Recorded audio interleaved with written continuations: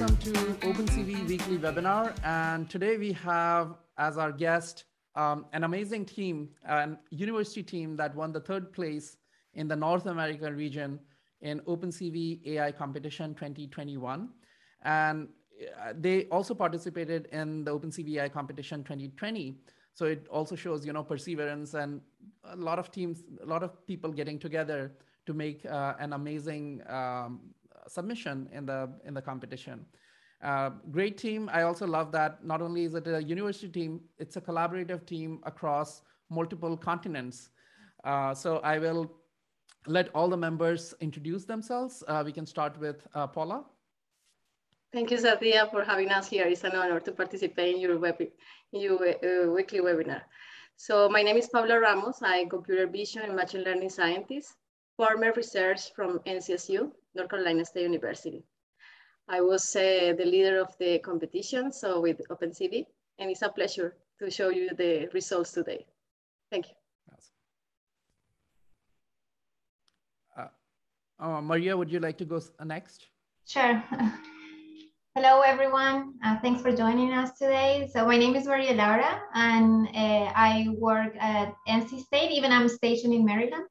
Um, so I do a lot of project management for our team, and also and I'm part of the tech uh, technology transfer team, where we try to make uh, technology more understandable for the end user. Um, and then in this competition, I participated as uh, the end user as the data collect collector, as uh, the experiment setup person. So we'll be showing you some of that uh, in the slides. That's great. Uh, Soren? Yes, my name is Søren Skovsen. I'm a postdoctoral researcher at Aarhus University in Denmark. Uh, my background is, is engineering and, and, computer scientist, so I've been working on the data science part of this project. So basically, uh, data synthesis and computer vision models. Great, thanks. Uh, Matt? Yeah, hi, my name's Matt. I'm a second year PhD student at Texas A&M University in College Station, studying under Dr. Muthu Bagavathiannan. Uh, my research interests have to do with applied computer vision in agriculture. Uh, for this project, I worked on the uh, data annotation pipeline and uh, synthetic data generation.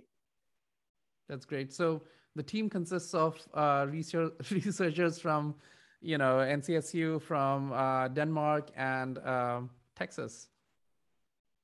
That's great. And as always, we have our content uh, manager, uh, Phil, who um, you know who puts together these webinars and helps uh, OpenCV in several other ways. Hello, Phil. Good morning, everybody. Uh, thanks again for joining us, and thanks for Team BenchBotics for being on the show this week. As always, we will be doing Q&A during the webinar. Please use the Zoom Q&A functionality to ask your question at any time during the show, and we'll do our best to answer as many as we can at the end. We will also be giving away uh, a special item uh, for our trivia contest today, so pay, pay attention to the slides because uh, you might be able to win something the special item, obviously, you know, we are running a Kickstarter campaign for OpenCV AI Kit with Depth Lite, Oak Delight, and uh, you might have seen the Kickstarter campaign. If not, um, Phil will share it here. Uh, it's doing very well, but we still need your support because we have we are not spending any money on advertise, advertisements, uh, and we just hope that the community spreads the word. It's an amazing device, 4K uh, camera uh, with a neural compute stick, not, not a neural compute, with a neural compute engine inside it. So it can do four uh, trillion operations per second. It also has a depth, um, uh, it also has a stereo pair for depth estimation. Uh, so Phil will share the link to our Kickstarter campaign for people who do not know about it, but I'm guessing that most people on this webinar probably have ordered a ordered one or two. Yep. Just dropped the link in the chat there for everybody, and we'll have it in the show notes too. All right, that's that's great. So let's get started, Paula. Can you see my screen? Yeah. Perfect. Looks so, great. First of all, Satya and Phil, thank you for having us here. That is an honor to participate. So, and it was an honor also to participate in the competitions 2020, and 2021. A lot of lessons, results, and future. So we got the, the, the, the, third place in the regional award for North American region. So, and, and, and I'm so proud of this team. So, you know, right now, Matthew, Soren, Maria Laura, and I, but we were 10 in this team. So, and we were talk, talking um, on behalf of them today. So Chris and Steven are the co-leaders of the project, Precision Sustainable Agricultural Project, PSA.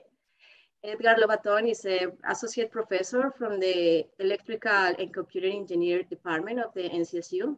Also, Arthur and Majores, uh, they were working with us as graduate students, working in different hardware and software projects.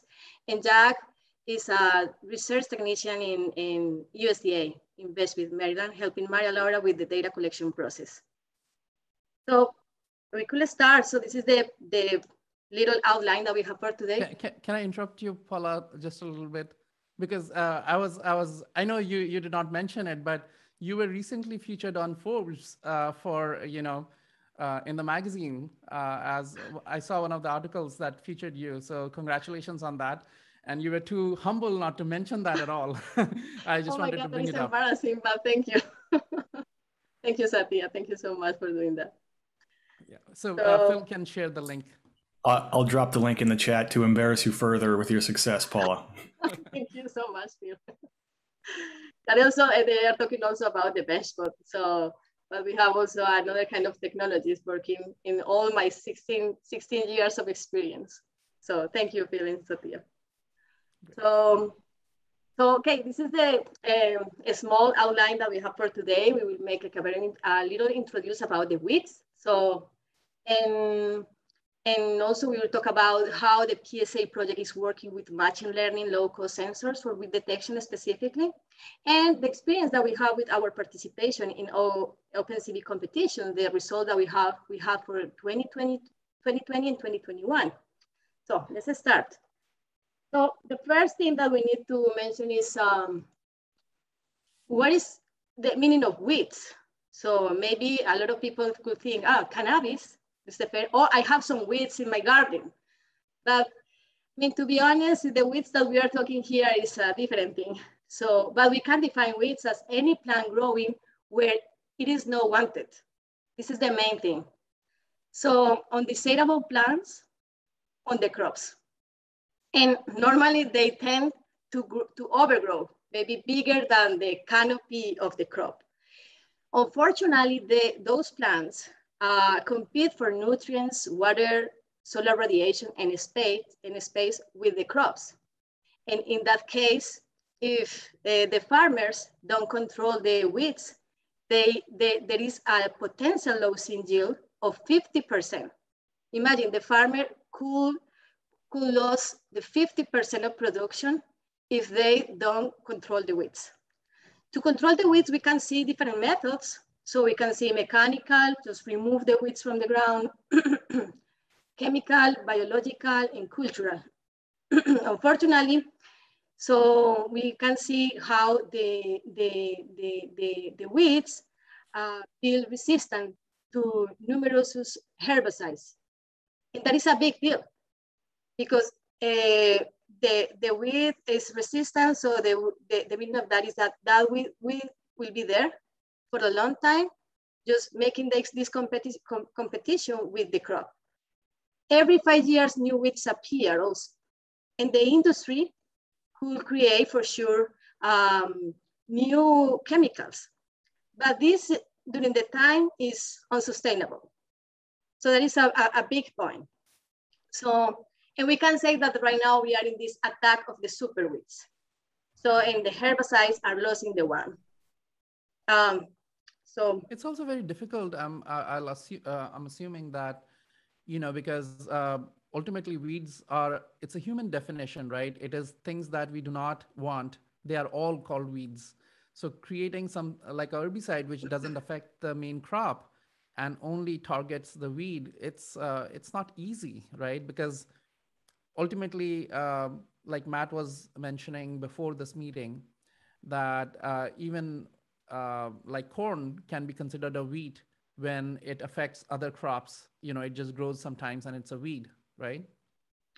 That is correct. And also there is a very good point, Satya, because we need to understand better the phenotyping of the plants. That is one of the things that we are doing uh, with our project. So we try to understand better the morphology, the architecture of the plants, the size and the, the grow the, the growth stage and how we can control these kind of plants.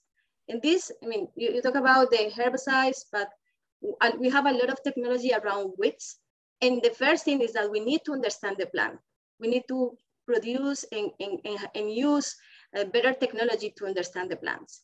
Yeah. So, and another big challenge that we have is that we need to find a way to feed the world. We need to find the way to, to feed the world eh, 10 billion people by 2050. That is a lot. And one of the things that we need to do is improve the agricultural practices because we will have, right now we have water scarcity, herbicide resistant, as I told you. The climate, the climate change is a reality.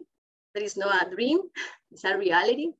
So, and also we have poor quality of soil and water that could decrease the production of the crops. So, and in that case, we need to understand better that relation between environment, genetics, and yield. And that is also related with the thing that I told you before. So, and this is a complex scenario, but if we, if we think about that, we can talk about the technology, for instance, computer vision technology, for better understand, understanding of these relations in between genetics, environment, and yield, we can define a complex problem. You know, a lot of structures, uh, vegetative structures, we can see occlusion, we can see um, uh, shadows, uh, occlusion. So we have a lot of problems that we don't want in the computer vision community. So we just want to avoid these kind of things. And also, if we think about this, the problem is complex, but also the players are complex. So imagine that we have a computer science engineer without knowledge of agricultural problems. In another side, we have right. the agronomists without familiarity or experience uh, in advanced technologies as deep learning or machine learning. So, but at some point, we need to find a way to, to put all together in the same on the same page and work together it's also i mean for people uh, who are early in their careers these kinds of intersections are also great uh, career opportunities. Uh, early in my career uh, just a little story uh, if you don't mind. Um, so uh, i actually used an object detector that was used very commonly. It was called the viola and jones object detector or the Haar cascades. Um, i coded it from scratch because at that time there was no implementation. Um, and I applied it to cryo-electron microscopy uh, projects, right? So uh, basically something that was in computer vision, I directly took that and put it into cryo-electron microscopy. And I was actually very, very hesitant. My advisor said, no, this is fine. You know, you're giving credit to people who invented it, but you're applying it to a different domain. So this is a paper. I was not even sure whether it should be a paper, but they were so happy, the uh, cryo-electron microscopy people, that my work was featured as the cover of Journal of Structural Biology. Uh, and this was, I, am not even pretending, right? This was a straight out implementation of Viola and Jones uh, algorithm applied to a different field. So, uh, and they were, you know, I, I was so hesitant. I kept telling them that, look, this is somebody else's algorithm. I just applied it. And they said, no, this is fantastic because you are just narrowly focused on your contribution. Nobody cares about your contribution. what you have done is you have enabled uh, other people to know about this technology, right? So you have crossed the domains, right? And you're just narrowly focused that, oh, your contribution is uh, so small in this. Uh, but think about the community. The community benefited by having this knowledge, right? Uh, so yeah, uh, my point was that uh, when if you can find a domain where you're working at the intersection of two different domains, you somehow happen to know uh, computer vision as well as agriculture, or you're able to collaborate with those people, those are great. Those are where great careers uh, would be made. That is a good point, Satya. And also this is the thing that we are trying to do with this project. So because we have uh, a big team, so PSA uh, is a big team, we have a network of uh, government agency, that is the USDA, universities, We have a, a lot of industries around uh, working with hardware and software approaches. And also we have the farmers. So, and when you have the view of the end user, it's great because you can, you can understand better the, the needs that the end user has. And also a little bit more the background of the problem in the agricultural way, but also around the, the solution itself, that is the computer vision part. And so we are trying to cover the, you know, the, the complete framework. And we have this idea about the preci uh, precision framework that we need to work. We were talking about sustainable agriculture, but we need to make this sustainable agriculture, we need to create precision on that sustainable agriculture. That is the point. So we have a, net, a network of farmers. So we have on, on farm network. We have also the connection in between tools and data, and also real-time decision support tools for be used by people, end user, non-tech people. And this is one of the main things also. Right. So with this framework, we are looking to increase the yield of the, of the crops, decrease the use of the water, and also make with suppression on the crops. So this, this is one, one of the things that also we want, we want to do. How we can do that, and that depends also the, the, the specific problem that we were talking about, that we are talking about, but in this case, we are talking about weeds. So uh, for that, we the next point is to talk about the machine learning and local sensors for weed detection. So, and this is a great point because Precision Sustainable Agricultural Project is working on that right now. Is is is spending a lot of time making these improvements and implement and, and implementations. And so here, I just want to show you uh, uh, our pipeline in computer vision that also has a, a, main role. So when you talk about computer vision system to quantify weeds in the field, we need to think about the, um, it's a complex problem, as I told you. So we need to think about the outdoor conditions, undesirable movement of the camera, uh, occlusion shadows. But also, if we think about the end user, we need to define the specifications there. Low cost, just to close the gap in between the user and the technology, to increase the adoption of the technology. Easy to use, because we are talking about non-tech people, mainly. Easy to maintain because we want that they use the technology this season, but also maybe in the next seasons. So easy to maintenance and user-friendly. So in this way, when we talk about weed quantification or weed detection, we have two lines. Identification is one and phenotyping is the another one. For the, for the identification, we can see there um, the machine learning and deep learning approach. So we can see object detection system or semantic segmentation just to identify the species of the weeds of the categories. When, uh, when we, we, will, we will talk about categories in this webinar. When we talk about categories, we are doing like a hierarchical classification of the weeds. So we are not talking about specifically one species, but just the category that we have. So the phenotyping is also related with computer vision because we need to integrate different kind of image processing systems there just to process 2D and 3D images. So in this case, we, we want to do 3D reconstructions and also measure some metrics of the plant, the plant growth metrics, or also the population dynamic that is important. So in this case, L go ahead. Uh, could you just uh, explain a little bit um, for people uh, who may not know what is uh, phenotyping? That that word, what does that mean? Yeah, what's a phenotype? So I I I I, I want that Matthew uh, define phenotyping. Could you define phenotyping for me, please? Yeah, sure. So phenotyping is the observable characteristics, in this case, of a plant. And a phenotype is the interaction of the environment on a plant's genotype or its genetic structure, right? So when we say phenotyping, we're really saying we want to be able to study a plant and how the environment and its genetics interact, right? So, so this tells us a lot about growing conditions, changes of, of plant, changes of communities, um, uh, you know, resistance, herbicide resistance, phenotyping plays a major role in understanding, you know, how a plant's genetics affect its ability to resist uh, an herbicide. And observing its outside characteristics, um, you know, is, is phenotyping. I'm, I'm glad I asked because I had a different, I was thinking of slightly different, something slightly different. Does it also mean that when you observe, let's say, uh, by genetics alone, the plant would have certain size leaves, but let's say the soil conditions change, the leaves would be bigger, or is that uh, what it refers to also? Yeah, exactly, okay. right? So, so the soil being sort of environment, environmental conditions, genetics, uh, you know, has certain leaf size, but the, the environment is, is sort of influencing that. That's great. All right. Thank you. That is the reason we that is the reason we need the two players on yeah. the complex problem. So and we are working right now in these two different branches. So for the identification itself, we are working right now in, in one of the projects that we have is the IMAS repository. So and at, at some moments at the we, we talk about, we, we tell you about that.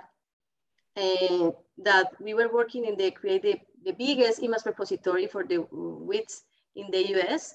Uh, in that case, we have also the context of the benchbot as a platform to uh, install in the semi-field condition or greenhouses. But also in the phenotyping way, we have some equipment ready to go that we were using uh, since last year and we started this year with the beta testing. Uh, and this is a this is this this 3D re reconstruction was done by the GoPro camera. So we also were working with a GoPro camera and an Android app and cloud computing to have this ready. This is an structure from motion approach. And as the com computer vision community knows, this is a high demanding task.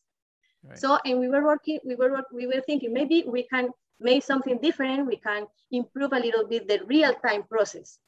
And this is the reason why uh, we started to think about the OAK-D camera as a solution for the weed detection. Yeah. So instead of the GoPro camera, we were thinking maybe we can use the OAK-D camera. And we, this is this is the one big picture of the OpenCV Spatial Competition 2020. So we made our, our own custom board with the modular camera. Uh, we needed to guarantee uh, the minimum depth distance on 20 centimeters. And also we have like a portable system. So we have a Raspberry Pi, a power bank, and a monopole. And we made uh, also some design here in the case uh, just to avoid a lot of uh, uh, full, full radiation over the lenses. So if you are interested to read more about this project, just take a, a picture of this QR code. But this is this was a, a great uh, a great moment for us. We le- we did learn a lot with this, so um, it was not was no simple. It was complex. You know, this is a complexity thing. So we are talking about other conditions, occlusion, shadows. We have all things one package of this of problems. So we have a very good approach. We, we saw the potential of the technology. We made uh, the complete pipeline that you could see today. We, we run exactly the same pipeline. But unfortunately, in this case, we have some issues with the real-time process because we were debugging the camera. We have some problems with the synchronization, with the control of the, uh, the camera control system. We have an issue with the auto exposure uh, uh, configuration that the stereo module has or had. And also we were working close to Luxonis to fix this issue. Yeah. But okay, we saw the potential, that was great. And we saw that we can predict the biomass with this coefficient of determination, 0.8, 0.5. That is, that is good for the first for the first round with the camera. Right. So that's that's very cool. So you're able to predict because it's a depth camera. You're looking at uh, at at the crop from the top, and so you know the depth, how the height, and from that you could uh, estimate the biomass. Is that? Yeah. yeah. So we were running here. The pipeline was we were using the RGB camera just to run the semantic segmentation model to identify yeah. the category of weeds. So we were working with two categories, grasses and broadleaves. Mm -hmm. And after that, we were able to match the depth and analyze the histogram of the depth over this specific area. Yeah. And we made something that is called the canopy high, the canopy height analysis, just to define the number of pixels that we have uh, and create like a create like a surface analysis over the histogram information coming right. from the depth. What was the general idea of the OpenCV competition 2020? And you can see the complete history in the link. So go ahead, please. So, so as, as, I, as I showed you, we have a complex and dense real world system. Uh, that is this one. And was uh, we, we have a lot of lessons there, but maybe just to understand better the phenotyping, uh, the characteristics that we need to measure for widths, and also with a little more control of the camera and also the movement of the camera, we wanted to move the experiment to the greenhouse. So for that reason, we were thinking, okay, we can we could we could do that in the, into the greenhouse where we can reduce the full solar radiation, control the other conditions, minimize, minimize the occlusion, but also work with the main problems that we have with the OAK-D camera in the first round, 2020. So, and that was the, the thing that we were doing. So anyway, so the benchbot, as I told you, was there. So because the benchbot was, we, we, create, we, we created the benchbot uh, also last year, but the, the benchbot was waiting for the OAK-D camera. And it sounds like a romantic tales, but it's true. The benchbot was waiting for the OAK-D camera. So, and what is the benchbot? A, a match made in heaven, as they say. oh, the perfect match. Yes, the perfect match. OAK-D camera plus benchbot. so when we designed uh, the benchbot, so we were thinking something that we need to make low cost. And the, this is just thinking, uh, um, the end user, the end user of, of that is the plant breeder. So the benchbot is a plant phenotyping platform and mainly has two components, a semi-automatic image acquisition device that is on the top of the benchbot, and also a central process unit to control the platform. It's possible to move the camera back and forward, and the camera could take images. So we were testing the benchbot with different cameras, and we saw that the perfect match was with the OAK-D camera. And this is not a joke, this is a reality. So, and and this is the thing so what, that, that, that we have. Uh, we start with this idea to use the OAK-D camera with the benchbot just to reduce the, these conditions and, and work with the, with the hardware setup, improve a little bit the conditions, the problems that we have with the camera, with the camera control system and the synchronization.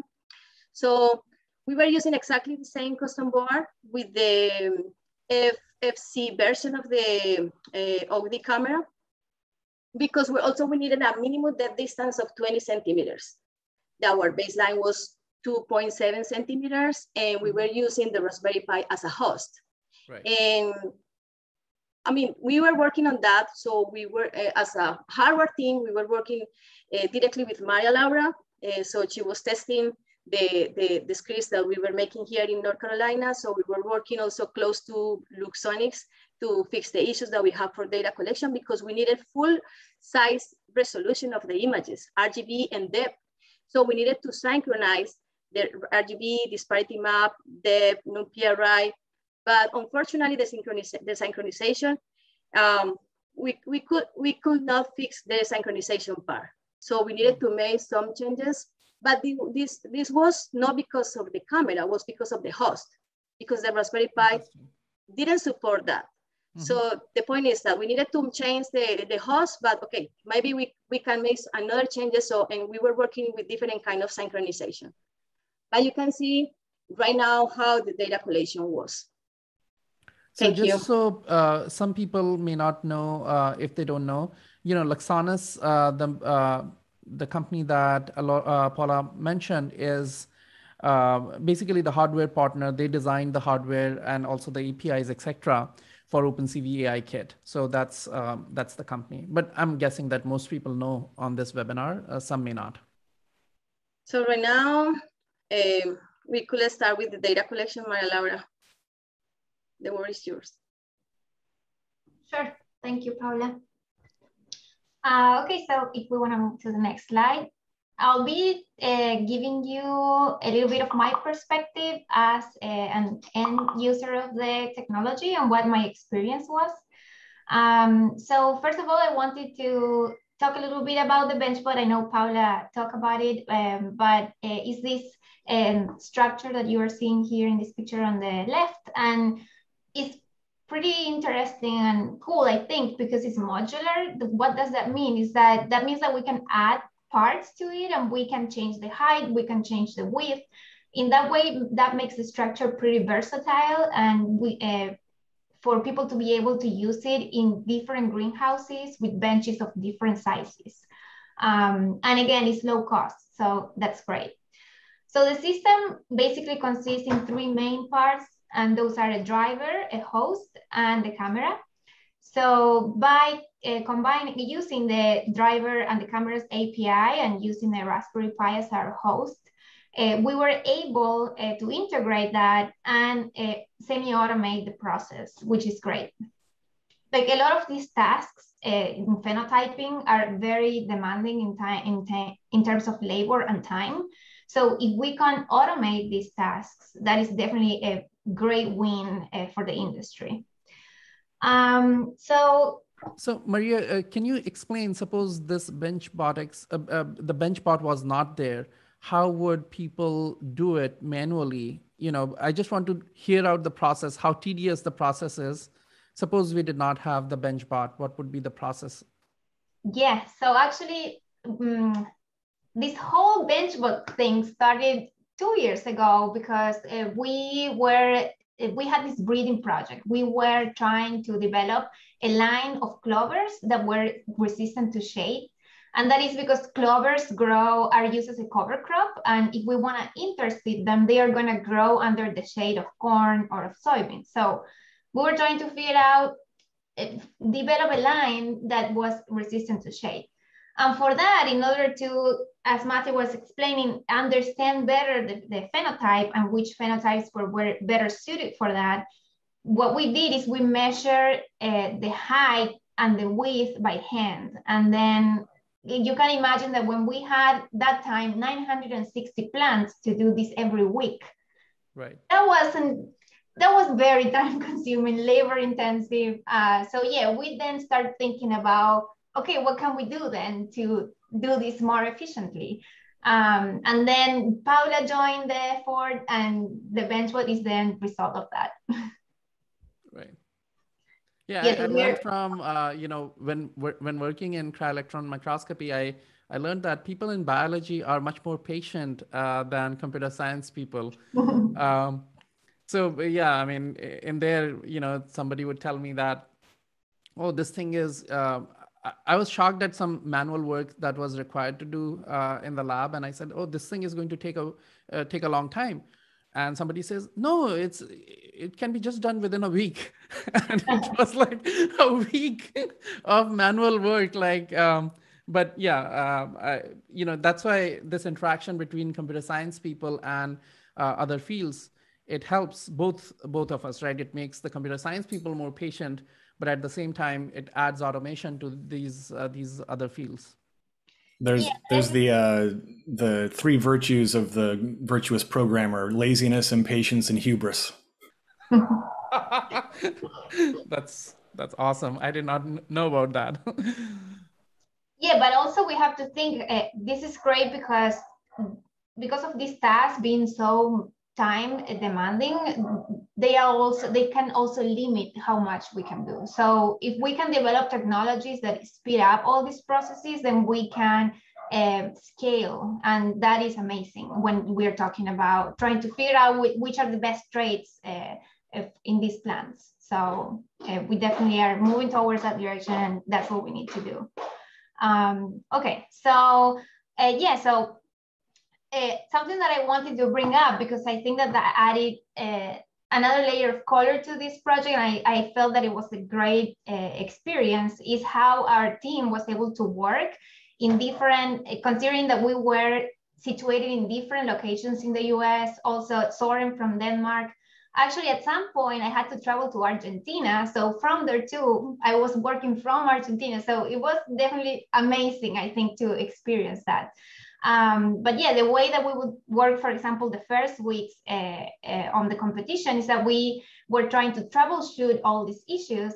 So uh, we had these Zoom meetings. Uh, I will just connect with the camera through uh, the Raspberry Pi, remote desktop to it, and then share what I was seeing with everyone uh, in the team. And I think that was an amazing experience because I was getting then input from everyone. We were fixing issues all together. And yeah, that was great and definitely made part uh, of, of the, this competition. It made it even better. Um, so yeah, eh, in terms of what my experience was as an end user, I think that the technology is, it was, the end product was easy to use. That doesn't mean that it was easy to get there by no means.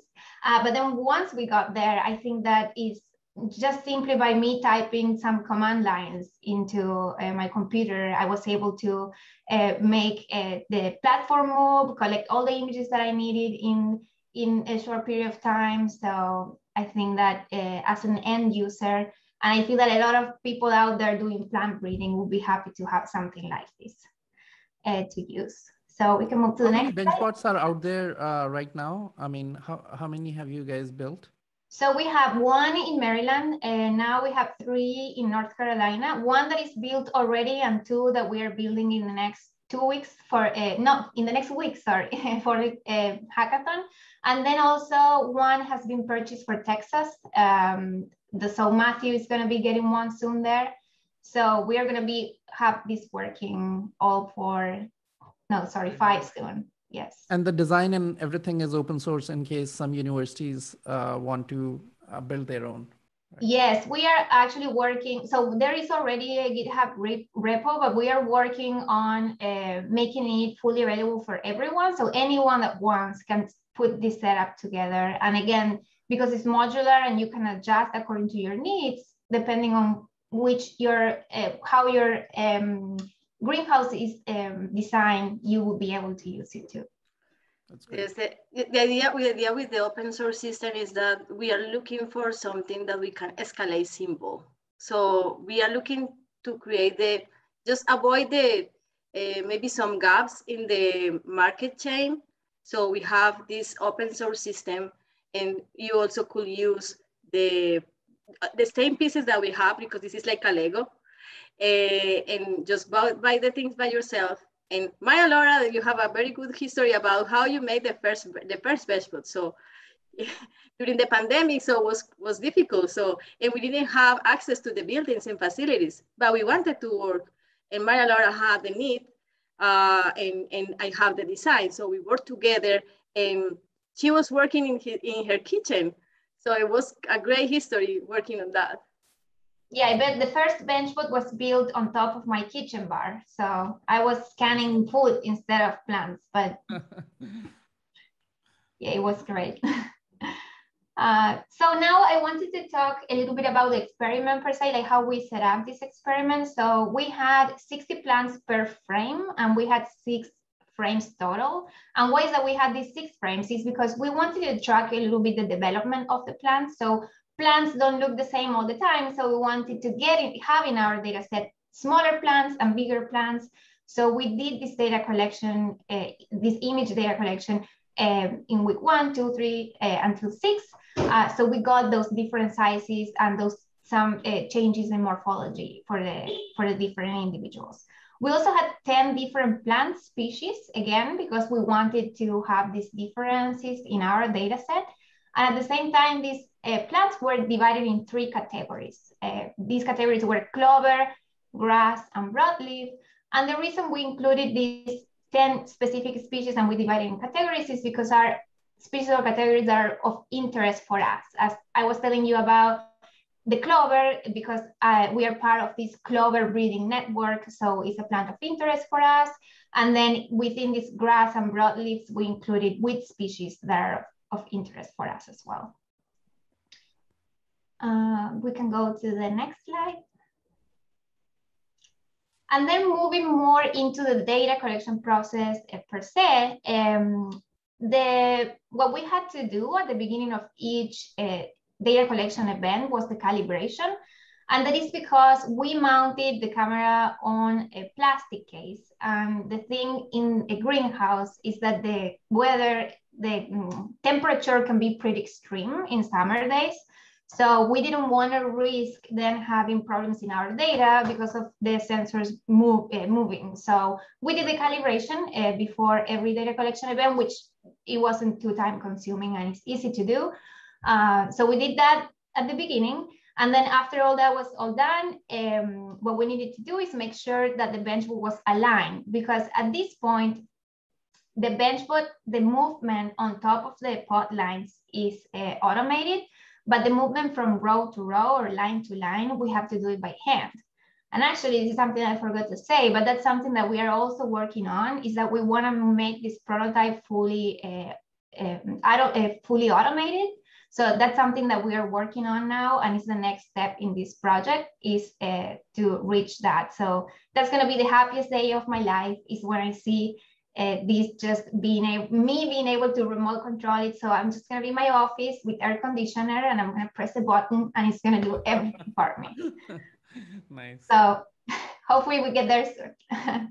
Uh, yeah, so once we have uh, the benchbot um, calibrated, we need to make sure that it is aligned. So for that, we had like an RGB preview that we could go and check, make sure that the pods were aligned, uh, that the um, image was in focus and things like that. And then once we are ready uh, with all that, we just run this batch file, uh, which has all these commands necessary in order to move the plate that which the camera is mounted to, and also to uh, acquire the images. So the way we program it is that uh, the camera was going to move on top of the line of pods, but it was going to stop 17 times. And each of these stops was going to be collecting 30 to 80 images.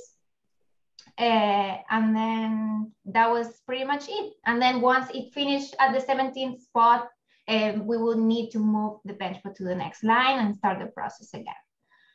So um, sorry, I have something else to say in the previous one. and then the last thing after that was uh, going to be uploading the data uh, to the cloud. So everyone had it available and we could keep working on the next steps. The way the data was organized is as you can see here on your right, we had a folder per week, per row, and then per stop. And each stop, as I said, you had all the RGB and the depth data. And then now, yes, we can move is this data also open source or are you going to make it open source at some point? It is open source and is available right now in the GitHub repository. Awesome. That's really good. And then the, this slide that is going to be the last for me is just to, in, in some way, show how this all, our data collection call, um, connects with what comes next. That are things that uh, Matthew and Soren are going to be talking to you about. So we collected in two group two groups of data, let's say. So one was the data we acquired through an OAK-D camera, that is what we were talking about until now. But then we also had to collect ground truth biomass. Um, so the OAK-D data was uploaded to, uh, to the um, Azure um, blob storage, and then it became available. So Soren in Denmark or Matthew in Texas could work on their annotation, CNN training, and biomass estimation models. But then we also, as I said, collected the ground truth biomass because that's our end goal is to estimate biomass. And we need to know what that biomass is in order to be able to do that. So basically what we did is after each uh, image collection process uh, finished, is we cut those plants, we put them in bags, we dry them in the oven for 48 hours, and then that is the way that we use in order to um, correlate um, for the models. So what you can see here in the center of uh, the slide is the map of which images we use to assignate that that biomass value to. Uh, and then what you see next to it is um, regression of the real biomass versus the estimated biomass. And that's all I have uh, for you today. And I think that Matthew is gonna be talking now, unless you have any other question uh, regarding data collection. Let's keep rolling. Great, yeah, let's, let's go. Uh, so as Maria was saying, we are moving this machine across table uh, and over 12 rows. At each row, the sensor is stopping 17 times. Each time it stops, it takes anywhere from like 30 to 80 images, right? And so there, this is where our sort of organizing and cleaning process begins, right? We, we've got to sort of sort through these images. We did some, some pretty simple basic pre-processing, removing duplicates, uh, removing blurry images. The reason we took so many images per stop is to allow the machine to stabilize, adjust to light, um, autofocus, all these different types of things. So, uh, you know, we're collecting quite a bit. Um, we use some, some pretty simple tools, uh, the variants of the Laplacian filter. So essentially, you know, at how fast or at what rate is an image changing across that image, right? A uh, little, little bit of calculus involved, but it's essentially one line of code. At the end of our project, uh, at the end of our six week collection, I'm looking down here in the lower right graph, um, you can see sort of the distribution of our data across weeks.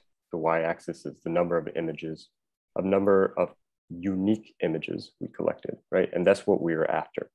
Per week, we were after about 204 unique images.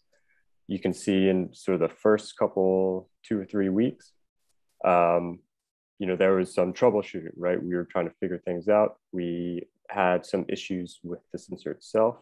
We worked really closely with the Luxonis team to, to overcome that, made some updates. Um, there's also a couple of issues with like Wi-Fi connectivity, just pretty like normal stuff for, for you know, developing this type of technology. Uh, but after that third week, we really sort of hit our stride, started consistently collecting uh, you know, all the images we, we wanted. Uh, we can move on to the next slide. And so once we had those images, we can start annotating. We can start, you know, really extracting that data because collecting the images is really just one half uh, of the story. We need those labels. And the point was to be able to develop a data set of cutouts of plants, right? So that could then be used to generate synthetic data sets. Um, to do that, we took one of those unique images, did uh, used a vegetation index. A vegetation index is uh, just a combination of image bands that emphasize vegetation or certain properties of vegetation. In this case, we use excess green, which is really, as it sort of says, it's emphasizing the green band in an image and de-emphasizing all the other bands, right? So if you have green plants, it's really going to pop out, as you see in this right image.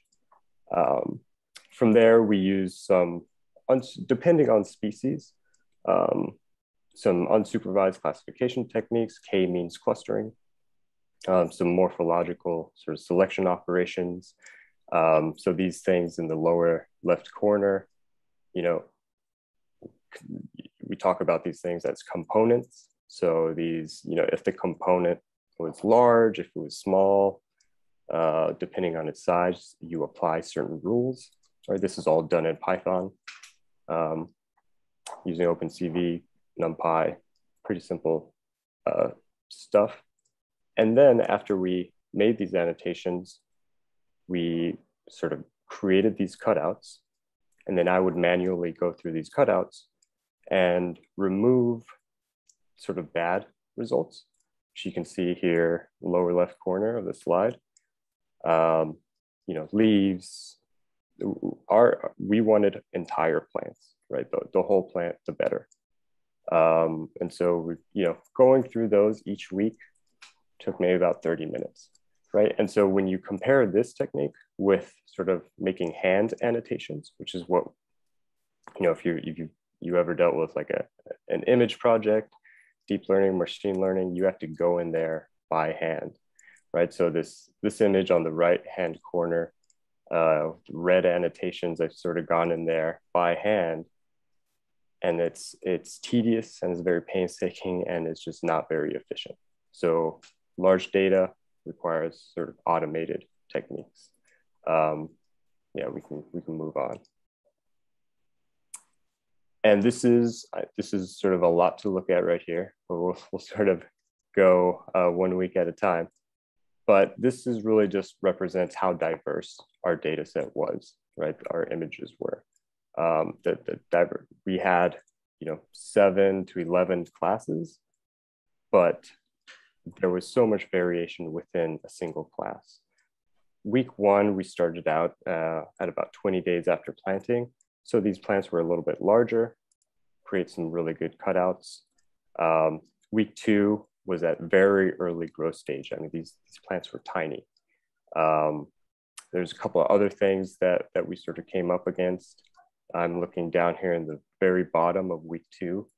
Sensor uh, had some troubles adjusting to light, right? So, but our annotation system was still able to sort of make up for that.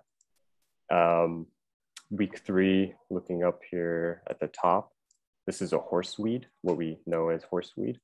Uh, there's some portions of plants that were heavily shadowed um, that would just sort of be removed by our annotation system. Um, start going into week four is when the plants started getting larger.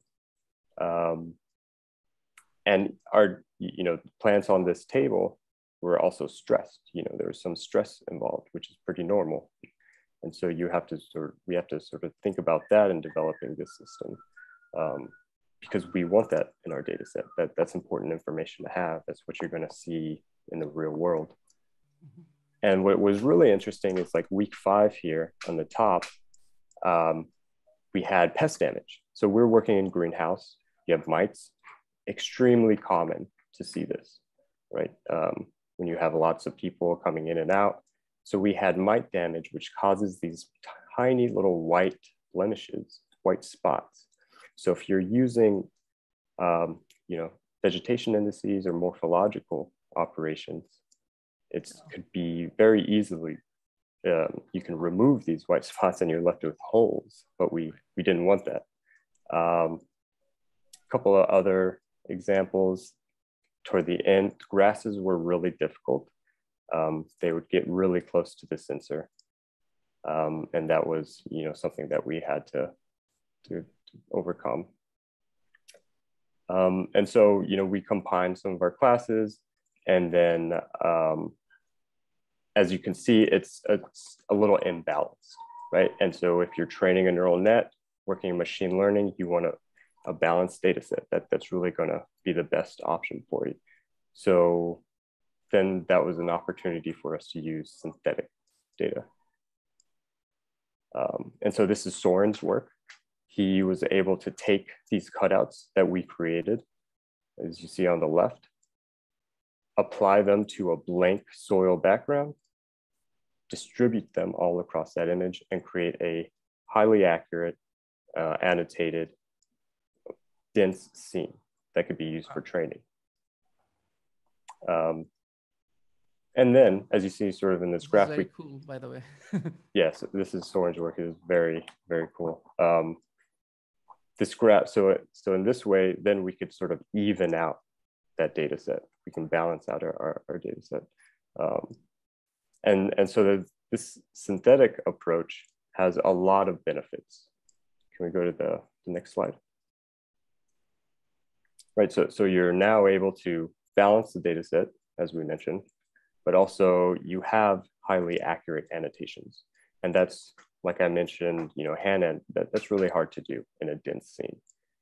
Um, you have also like, you can control the distribution of these plants across an image because plants are biological. There are patterns, you know, some, the way that plants grow in their communities, you, you, you know, you sort of want to replicate that in some sense, uh, or, or it's good to be able to do. Um, you also just broaden so, sort of the span of synthetic conditions, as we say. It's, you can apply different types of augmentation that can replicate, you know, differences in light, right? If you collect images in the you know, early parts of the day, going to be different than later parts. Um, so you can sort of replicate that. And, and you know, one of the, the biggest benefits here is you're also including occlusion. So this is sort of the, the enemy for computer vision, deep learning, um, occlusion is really difficult to, to, to, to account for. Um, right. But you can, you can replicate that also. and we can move on. But, you know, so we created a synthetic data set, but our, our real world scenario in this case, in the OpenCV and in the BenchBot case was what we have here on the right, sort of deployment conditions. And so we, we then sort of were thinking, okay, could we develop a data set that's a little bit closer to deployment conditions? And this serves a couple of different purposes, right? It can, um, it, it, introduces more diversity in our data set and it allows us to test in deployment conditions, right? Um, and so we, we did that. We can move on. So we created sort of following what, what Soren has done, created a synthetic bench data set. So in this top left corner, we have a real image. Um, we have these moving to the right, we have our cutouts that we created. We were also able to do some, you know, some sort of simple uh, photoshopping of our images to create this pot. This is just done by hand. I did this. And then the same with a blank background. Uh, so I created 27 empty pot images and five empty bench images. And so then this here, this lower left-hand corner, we created, this is a, a synthetic image. This is not real. We sort of randomly, semi-randomly, um, Matt, Matt can I uh, interrupt you just for yeah. a second? Uh, so basically, uh, you know, uh, some people have because the show ends, you know, uh, most of the people have slotted an hour. Uh, can we just interrupt it just for a second? We will just uh, ask the question so that people, if they have to go, they can go. But the recording of this entire show would be available. Uh, it looks like we'll go over a little bit today. So, but uh, I just want people to be able to participate in that uh, question. Right? Yeah, let's do the let's do the giveaway. Uh, we can just pause for a little bit. For sure. Yeah. yeah, Satya, would you like to tell them what they'll win? Well, there are two things they'll win. First of all, uh, this uh, competition was sponsored by uh, Microsoft um, Azure and Intel. So we will get 200 hours of free uh, processing time on Azure Cloud. And we will also uh, uh, throw in OpenCV AI kit um, with Depth Lite. And this will be available only after the Kickstarter campaign is over when everybody gets their units. the person who wins here will get there at the same time. Yeah. So um, the way this works, if you've never been here before for our little trivia competitions, is that I will ask a trivia question I've taken, I've come up with from the slides of the presentation, so it pays to pay attention. The first person to answer the question correctly in my chat window on Zoom will win what Satya just described. Also, please, if you've won recently, don't answer. Uh, if you've won in the last month or so, we've got some repeat winners. Some of you are just too damn good. and we want to make it fair for everybody. Uh, so um, get ready to answer. Before using OAK-D, the team used a different brand of camera to capture data. What brand of camera was that? Oh, they got it. They got it quick. On my screen, I see uh, Cobus Mayer uh, with uh, the correct answer of GoPro. So we will uh, be in touch uh, about your prize. Let's get on with the webinar. All right. Sorry for the interruption. Let's let's go on. And people who miss, uh, if they have to go to meetings, etc., the recording of this webinar would be available on YouTube, and uh, you know Phil will share the link with everybody. Yes, indeed. Great. Yeah, that's uh, good. I'm, I'm glad we can we can do that. Um, yeah, so I, I was sort of perusing the the chat and a couple and questions and a couple good questions sort of came up. Um, one was about sort of the background and and and why you couldn't just create a very simple background. And, and I think that's what we tried to do here. So from the, this was a second year of this competition for us. In the first year, we used a, a white sort of metal background uh, that had sort of holes. It was like a mesh metal.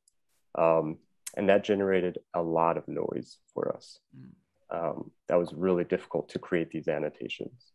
So uh, someone had the idea this year to to put a black background, and that was really sort of a game changer for us. I mean that that really simplified things, um, and so that that's really a main reason um, why we can generate these these foregrounds and, and just making a simple, uh, uncomplicated environment scene. Um, but sort of back to the synthetic bench images, um, you know, we, we place the, the pots sort of semi-randomly and place the plants semi-randomly. And that, then we can generate a mask. So then we have an additional data set, synth synthetic images and their labels. Um, that could be then used uh, for training. Okay, you can move forward. Then I'm going to pass it on to, to Soren here. Uh, yeah, just I'll... a quick question. Isn't this, this must be pretty big, almost revolutionary in your field, uh, this amount of synthetic data. I don't know what is the size right now, but just the capacity you have with this, it uh, is, is it very big news in the uh, in in your uh, domain? I uh, so I'll, I'll, i have something to admit here. Went to Soren. Soren probably doesn't know this. In my master's, when I started in about 2018, I came across Soren's paper, one of his first papers about sort of this synthetic data set. And I think that changed a lot for uh, people in sort of the, the agricultural domain, the remote sensing domain, at least in, in sort of my lab. Um, just to be able to see, oh wow, you there's like a whole nother level here that that we can play around with in, in terms of like creativity and overcoming this this huge obstacle we have of gathering data. I mean that that is really that is really the problem. It's a data set development problem. You know, how are you collecting it? How are you cleaning it? Creating labels, all to to train a model. Um, I think this is all still pretty new pretty novel in, in our domain. And, uh, but it's been, yeah, it's been pretty exciting. Um, yeah, so so in computer vision, right? You may uh, you you're probably obviously aware of uh, the ImageNet large scale vi- visual recognition challenge, yeah. and it was started in 2010, and you know it was interesting at that time. It was in 2012 when it just exploded, right? The it just started a revolution, but it started in it, it in 2012, two years after the competition began. Earlier, the submissions were interesting, but in 2012, uh, the CNN-based submissions, when they won, it was really big news. So, you know, yeah. some of these things take time, but once you have a very large data set, which was impossible before, people will do wonders, right? When, when the when the problem comes to the computer domain, right, in the digital domain, uh, and it's no longer, they don't have to worry about data annotation. They don't have to worry about all these things. The data is given to them then the uh, the amount the number of people who can contribute just goes through the roof. And that's where you know uh, you could be at the threshold of a very big thing. And i think yeah you know there's a lot of sort of that trickling down from 2012 right? I mean there's tons of attention on autonomous driving yep. on sort of facial recognition right? I mean there that is sort of um, you know tons of resources there yeah. But now we see it, okay, entering these other domains like agriculture, ecology, conservation, um, you, you know, everywhere you look. It's really, there's just so much potential. Right. And uh, uh, just one more thing I want to add because this is so exciting.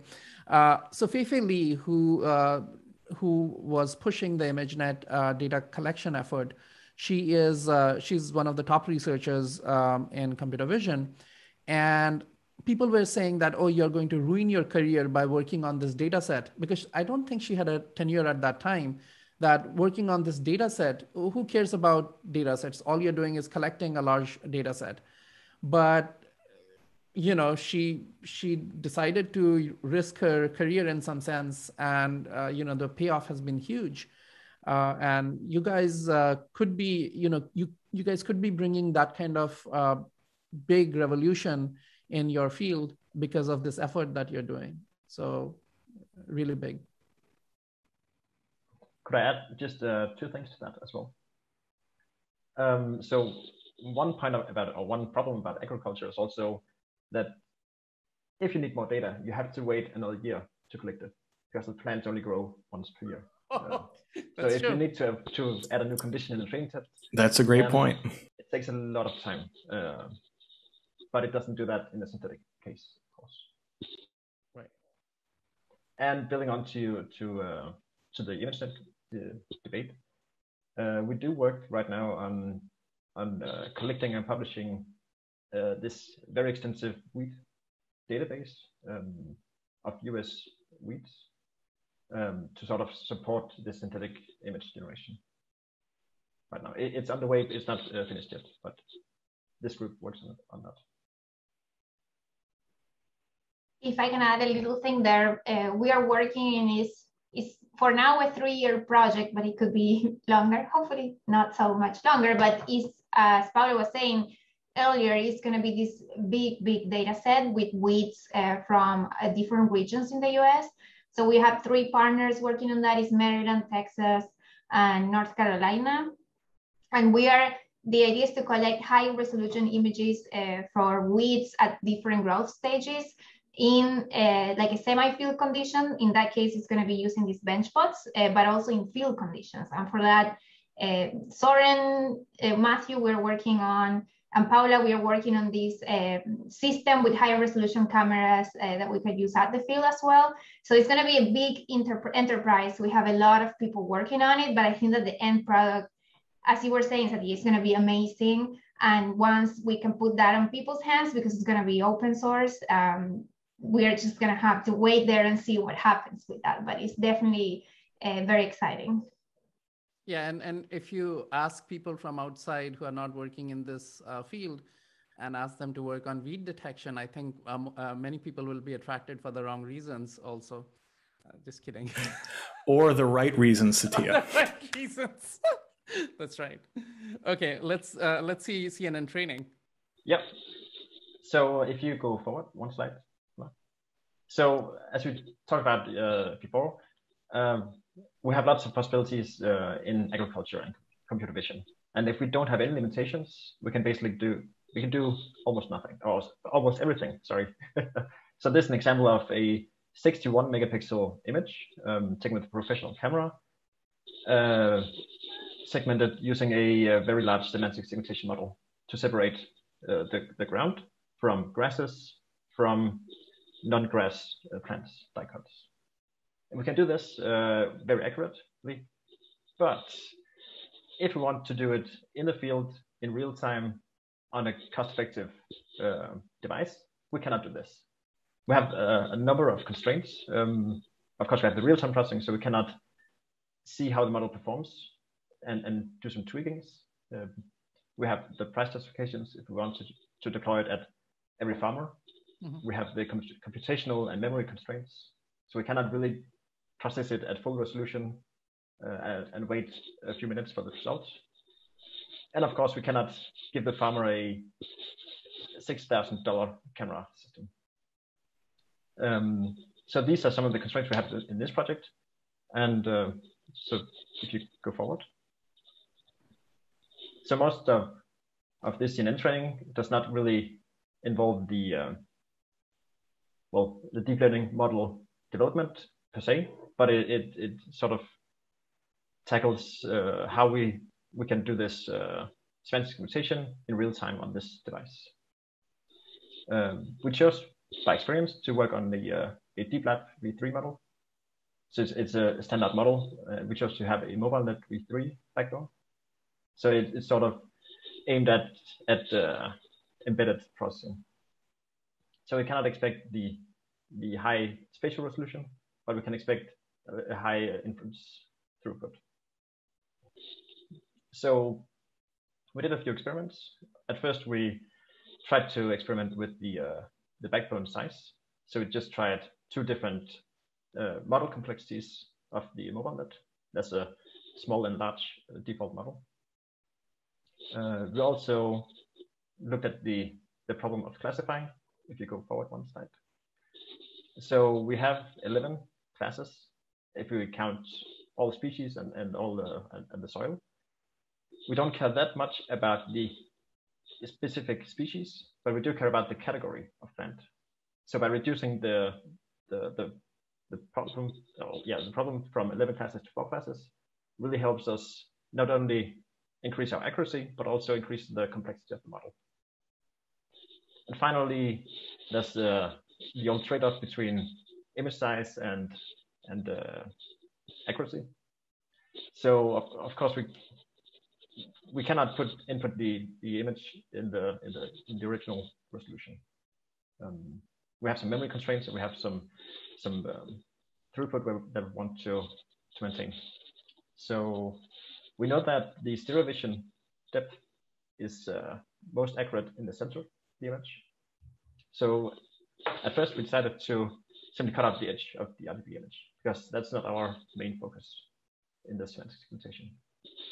Um, finally, we did some experiments uh, just resizing the image to find the, the right trade-off between accuracy and, and spatial, uh, well, spatial accuracy as well as input time. Uh, we end up training our model for cropped uh, images at a 512 by 512 resolution, if that makes sense. And we trained the model to do four class predictions. So background or soil, and grasses and clover and broadleaf plants. So if you go forward. And here you, here you see some examples. So these are real RGB images on the left and yeah, on the left side. and you see overlaid class predictions on the right. And the, of the clover is, is red, the broadleaf is orange, grasses are green, and the background is blue. So I would say that these are quite impressive results, given that it's embedded real-time processing. Yeah. Um, we do have some small mistakes. For example, the along the edges of the leaves, it's not pixel accurate, but that's basically because of the model size and the, the resolution reduction that we have. This also, is, we did, amazing. Yeah. Thank you.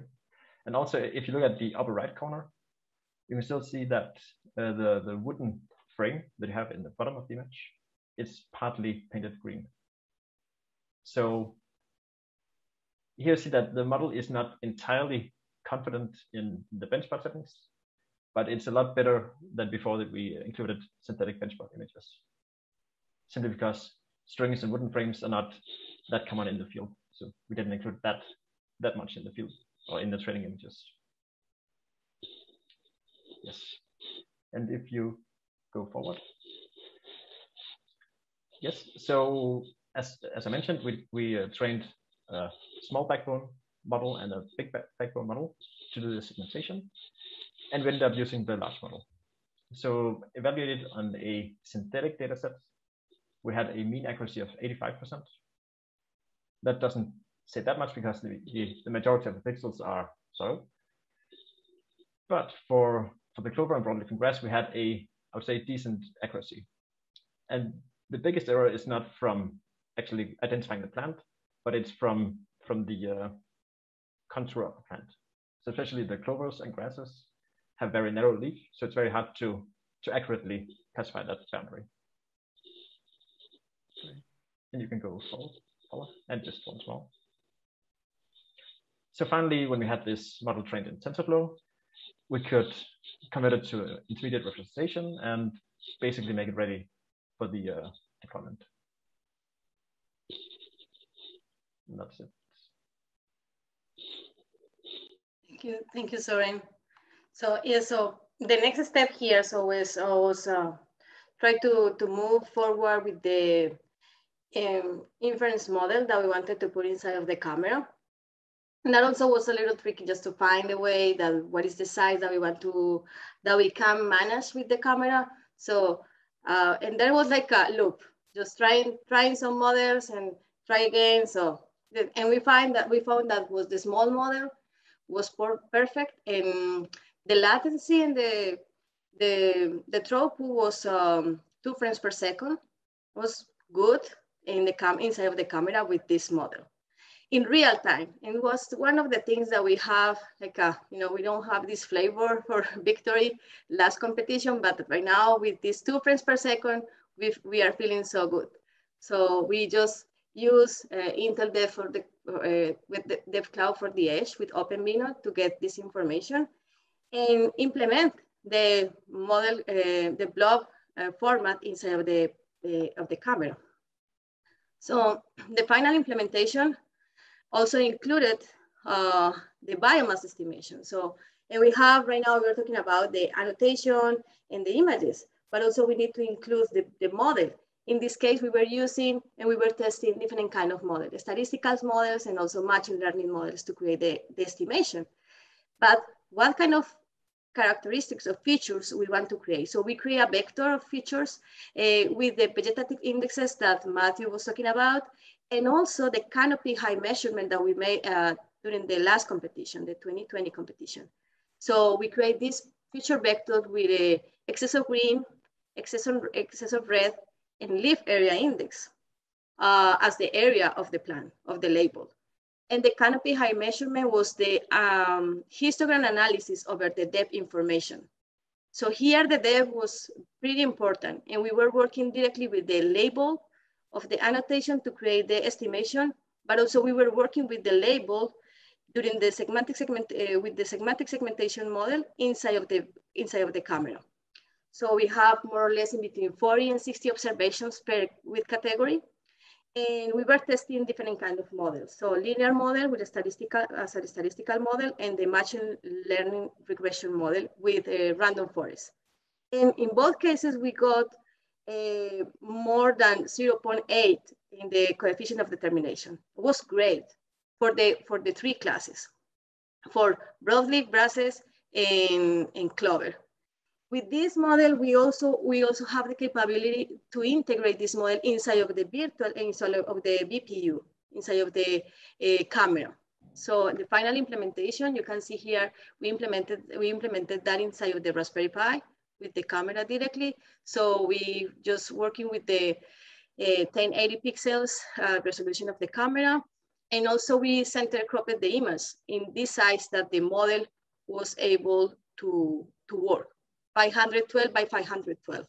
In the depth camera, we were working with the disparity map just for visualization, but we create the depth uh, NumPy array to make the analysis with the canopy height measurement finding the bounding box per category. So we was there just finding the bounding box and trying to match this bounding box directly with the depth information and create the feature vector to estimate the biomass and also create the visualization of the results. And all just running in the, in, in the camera. And that was great. So here you can see uh, the video that, that we have with the, the demo video that we have. If you want to see the complete video, you can take picture of this QR code. But this is the benchbot inside of the uh, greenhouse and how the benchbot is, is taking pictures and video. This is in real time. And also how we can see here the biomass estimation. So in this case, with the validation, we, we know that right now the accuracy is bigger than 80% uh, for broadleaf and clover. We have some issues with grasses because the grasses, as Matthew uh, did show before, the grasses are were, were touching the camera at some moment. But for broadleaf and, and Clover, it's a real good tool. So, and right now we have this like a reality thing that this is a real-time data to make decisions in the field. So this is this is one of the uh, uh, of the things that, that, that we wanted to, to, to mention today. But also I think that with this webinar also we want to inspire the people that is working in computer vision community. So, and, and we need to know better about the challenges for the future. What kind of challenges we have as a community, as a computer vision community? What is the, what is the role that the computer vision community has in the agriculture?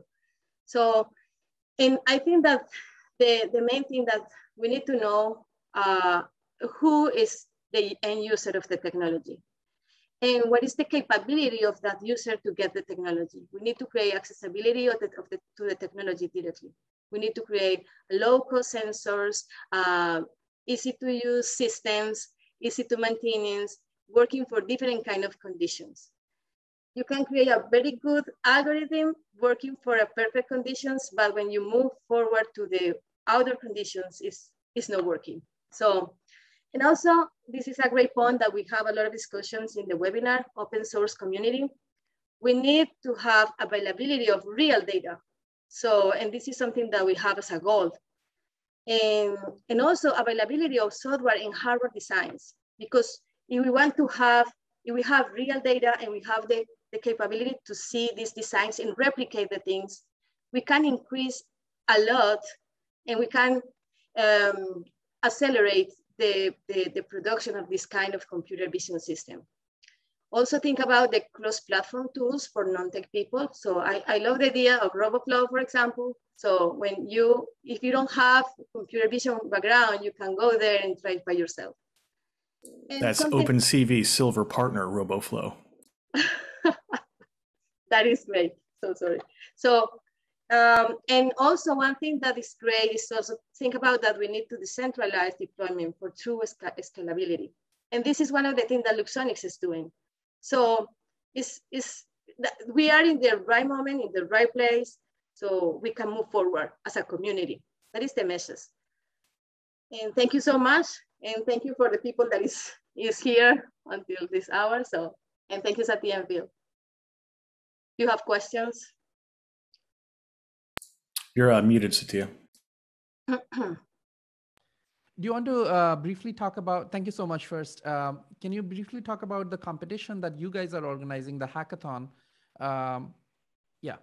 Okay, yes, see. I mean, we have um, this hackathon will be will be done October 8, 9, and 11 in the university, and SSU, North Carolina State University. So you can take a picture of this QR code and see the flyer and also the registration information. So this is uh, this hackathon uh, is sponsored by OpenCV, Luxonis, Microsoft, SAS, and RoboFlow. We have three different targets. So one target is is just in person, that is a hardware target. Um, we want to use the benchbot in this target. And also we have uh, two another targets. One is for so, with software just uh, that you can work with the uh, Danish uh, data set to train your skills in deep learning approaches.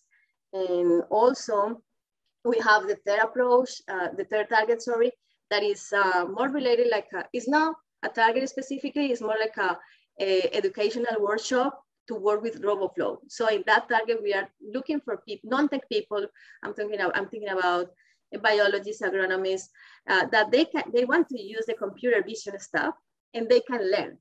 Mm-hmm. And this is a great opportunity if you're interested. So take a look, take a picture of this QR code and please register.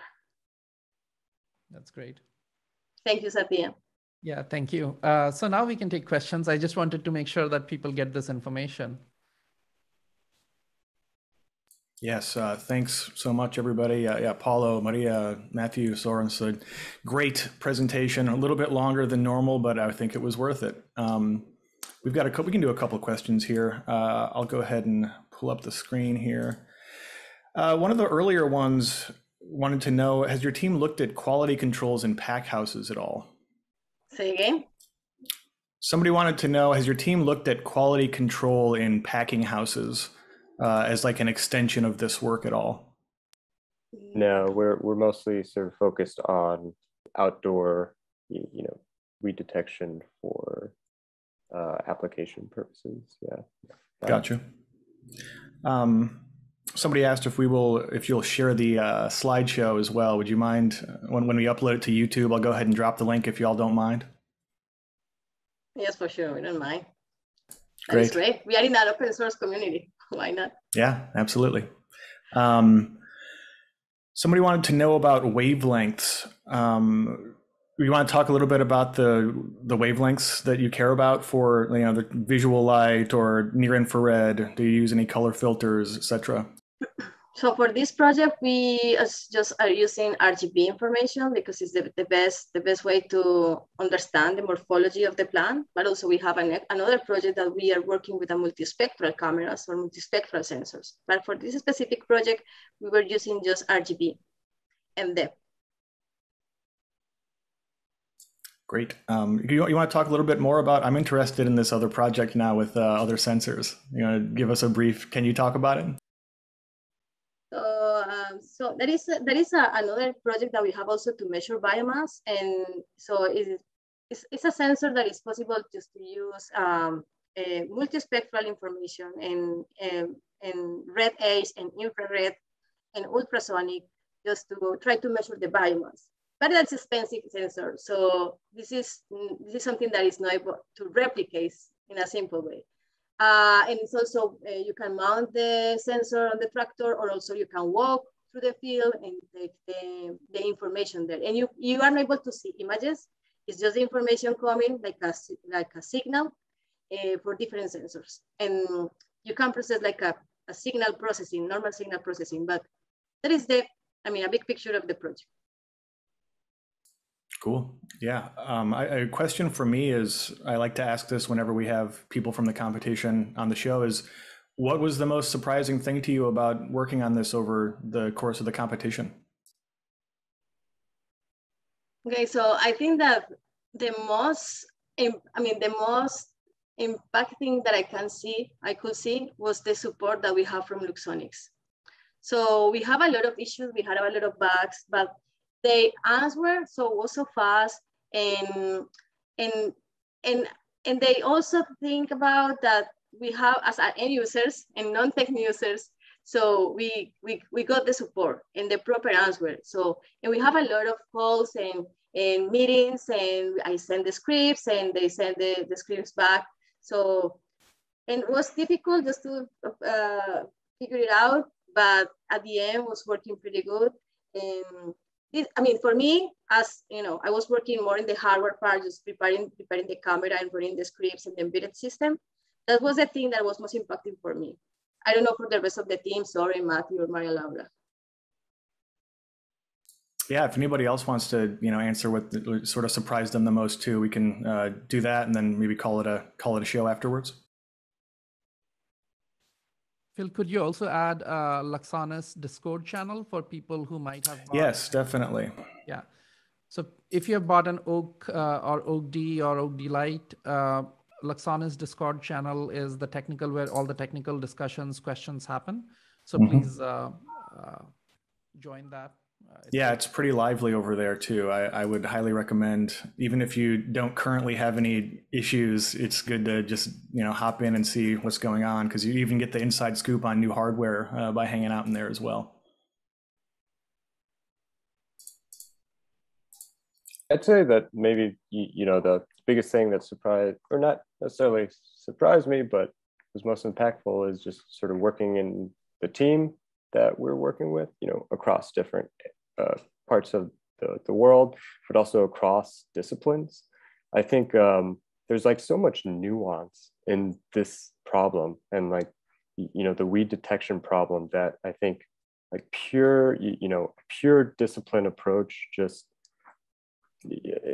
I think it, it loses that nuance. And so you sort of have to have all these different people sort of like different perspectives um, you know, thinking about the same thing and thinking about it differently. Um, and I'd sort of never really been uh, part of it and part of something like that in terms of sort of remote. Um, but it was that that was pretty cool to to see, and you know, working on code and you know, sharing, uh, you know, doing commits and and all that fun stuff. That that was that was pretty fun and and new to me as someone with mostly like a agricultural background. Awesome. Thanks. Uh, Maria, would you like to uh, weigh in on what was surprising to you?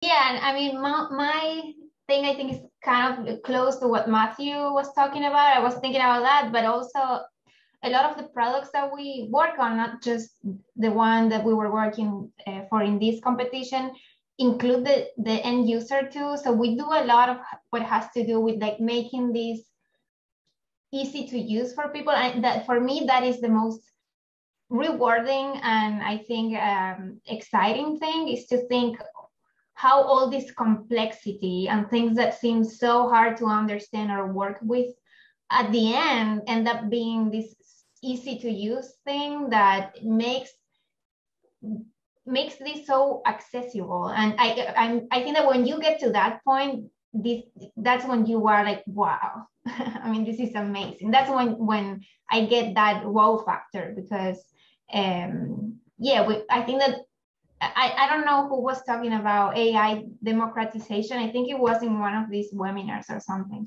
And I think that that is amazing. Like the data we can get there and uh, make AI and technology help the world in different ways. Um, uh, that that's what's amazing for me. And I think that in this competition we were doing a lot of that. Uh, so that's great. Awesome. Th- thanks for that. It's probably Cortic Tigers, our grand prize winners, that were discussing that. Um, Soren, uh, would you like to talk about what surprised you? So it's it's uh, similar to what Matthew was saying as well. Uh, so I'm saying it's surprising that we got this far uh, without ever meeting. Um, so great answer. Yeah. Um, uh, Paula, would you mind uh, turning off the screen share here so we can do our little outro? Um, uh, Soren, you have more to say? Sorry. So so we, we did meet at least most of us way before the competition, but we haven't met since 2019. At least I haven't. Um, so, I and I haven't had the, the device in hand or seen the plans. So it, it's surprising that we could make it work so well. I would say. There's yeah the old saying necessity is the mother of invention. Yep. Um, Satya, you want to take us home? Well, one uh, for all the people who have waited uh, for this this long session. I just wanted to give one surprise. You know, there are not. So I, I am unable to reveal many things, but let me just give you one surprise. People have been asking whether OpenCV uh, AI kit with depth OAK-D can be used as a webcam, and uh, this one is actually, um, you know, this webcam that you're looking at right now. This is from uh, an OAK-D, right? I cannot, uh, you know, right now we are not in a position to release the software or anything like that but I wanted to convey that it is certainly possible. Uh, right now, this this particular view is from that uh, camera. And just doing some background blurring and everything. Yeah. Yeah, uh, it's depth-based background blurring. So when when we release this thing, you know, you probably would be able to do uh, much more. But uh, this is all information that is, you know, not guaranteed. You know, we may not release that software and things like that. So with, but it is certainly possible for people to build a webcam using their uh, OAK-D camera. So, and it's a very affordable 4K webcam oh, uh, yeah. compared to, say, a Logitech Brio, which is like $200. Right, right. All right. So thank you so much. Uh, and congratulations again on winning uh, the competition. Thank you so much, uh, everybody, for being here. Uh, really enjoyed this talk. I learned a lot uh, myself and so amazing amazing work. Um, and phil thank you for uh, for being uh, you know managing this thing. And thank you everybody all the audience members for sticking with us. It, this was a longer show but i'm sure that it was worth your while. Uh, and we'll we'll come again next week Thank you. Yeah, thanks so much, everybody. Next week, our guest will be John Keefe, co founder and director of Draw and Code, creators of SwapBots and a bunch of other really cool uh, in real life computer vision stuff. So we look forward to that. All right. Thanks so much for watching this episode of the webinar. Please hit that like button, subscribe, and don't forget to tap the little bell icon to be notified when new episodes drop. This week's episode was brought to you by Microsoft Azure and Intel, sponsors of the world's largest spatial AI competition, OpenCV AI Competition 2021. If you'd like to be in the audience next week, subscribe to the OpenCV newsletter